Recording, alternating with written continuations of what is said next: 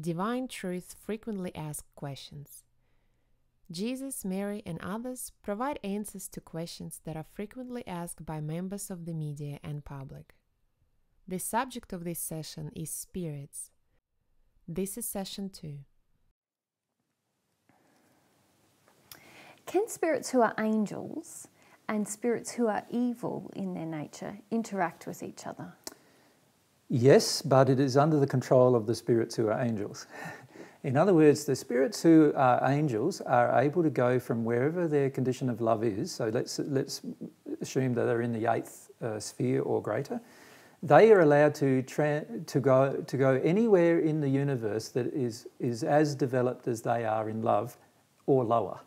So, in other words, they can go to the seventh sphere, the sixth sphere, the fifth sphere, the fourth sphere, and so forth, and they can go to the first sphere, and many of them do very frequently. And in the first sphere, in the lower realms of the first dimension or the first sphere, is where all the hells exist, where all the demons and devils exist.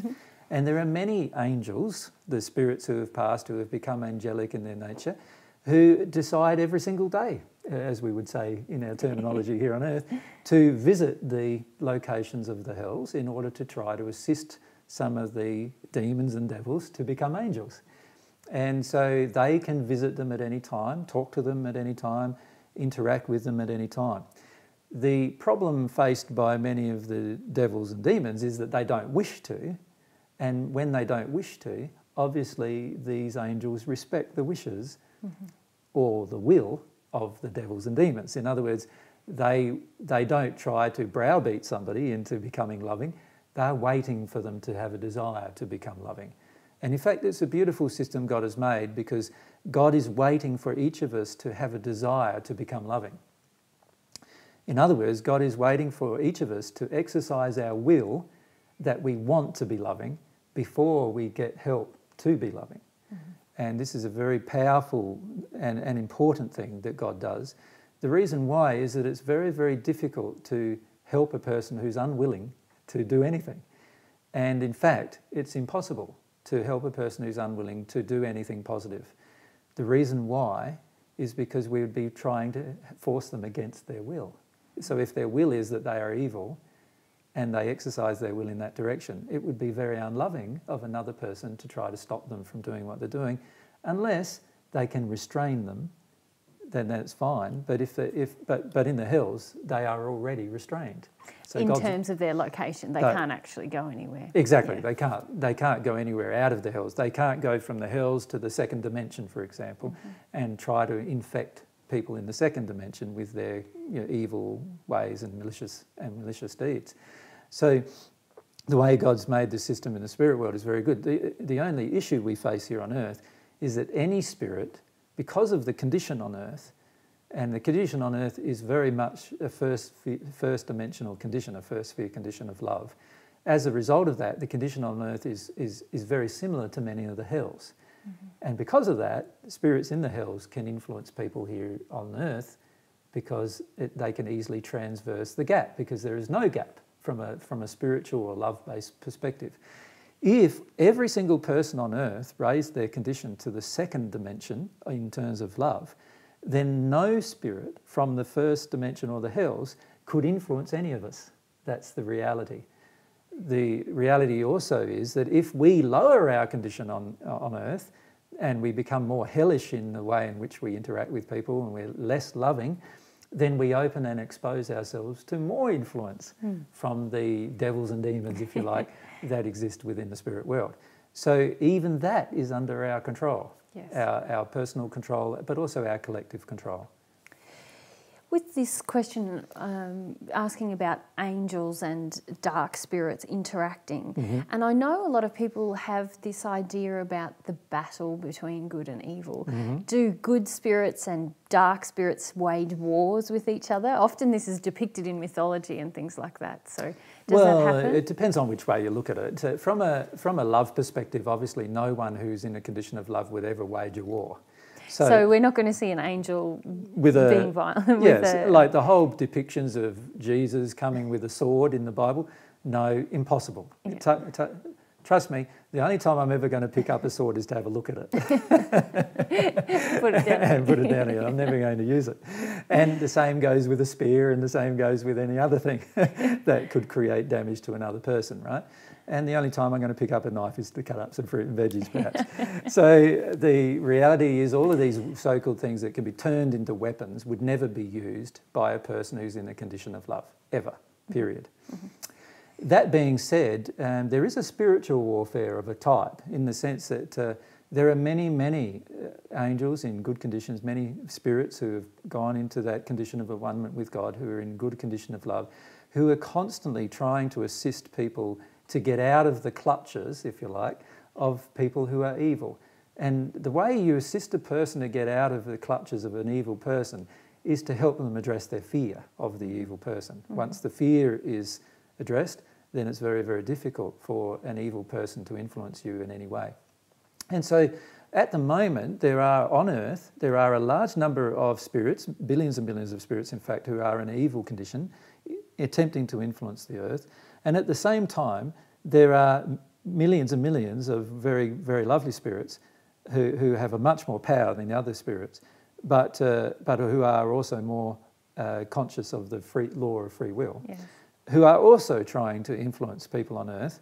And the people on earth are sometimes uh, felt, feel themselves to be in this tug of war. Mm. And it does sometimes feel like a battle for their own soul. And in fact, in, in that regard, each person on earth is in a battle for their own soul. Who, who is going to win? Mm. Are, the, are the people who are evil in the spirit world and on earth going to influence us through our fear to do things that are evil and eventually finish up like them?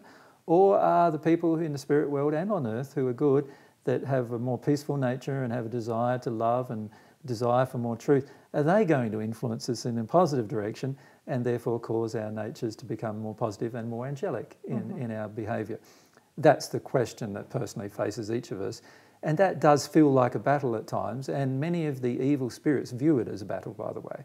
So many of the evil spirits, the dark spirits, the so called devils and demons, mm-hmm many of them view this um, battle for the soul of individuals on the planet as a real battle, and mm-hmm. they are they do everything in their possible power to harm people on Earth and cause fear in order for the people on Earth to be guided down into the same track that they have been. So there is a lot of uh, effort in the spirit world going on to not only help the spirits, the the dark spirits, these evil devils and demons. Mm-hmm who want to influence the earth um, to try to help them get out of their condition. There's a lot of effort uh, involved in that. And then there is also a lot of effort uh, given to by these same loving spirits trying to assist all of the people on earth who want to love to, to try to help them understand love much more than they currently do and to become more loving in their personal lives. Mm-hmm. So there is this sort of battle going on, but it's not a physical battle, and it's certainly from, a, from the perspective of the spirits who are in a good condition, the angelic spirits, um, it, is, it is only a, a, a battle for, for love, right? really. Yeah. It's not, there's, no, no, violence in the There's battle. no violence in, yeah. in their, from their end. There, are, there is a lot of violence perpetrated by the dark and evil spirits, certainly, from the mm-hmm. spirit world towards people on earth and also in the spirit world.